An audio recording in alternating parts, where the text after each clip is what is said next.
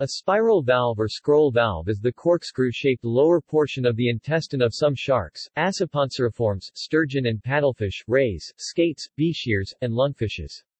A modification of the ileum, the spiral valve is internally twisted or coiled to increase the surface area of the intestine, to increase nutrient absorption. Description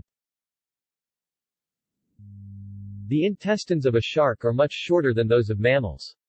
Sharks have compensated for this problem by having a spiral valve, or a scroll valve, inside the intestine to increase the absorbent surface of the intestine. By keeping digestible material in the ileum for an extended period maximum nutrient absorption is ensured.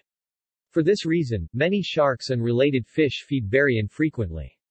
The food passes into the comparatively short colon of the shark almost fully digested, and then out the cloaca and vent. A consequence of the spiral valve constricting the lumen of the ileum is that sharks cannot pass large hard objects, such as bones, through their lower intestine. Such objects rather remain in the stomach until sufficiently broken down for passing through the valve region, or are regurgitated. Consequently, shark stomachs often contain items of interest that enable one to determine what the animals feed on, as well as non-food items ingested during a feeding frenzy. Sharks also possess a rectal gland that removes excess salt. See also.